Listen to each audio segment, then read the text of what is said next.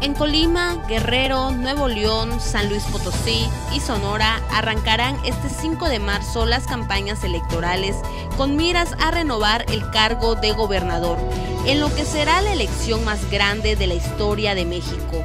En las otras 10 entidades, los candidatos comenzarán su proselitismo un mes después, de acuerdo con el calendario electoral, en tanto que Campeche iniciará el 29 de marzo.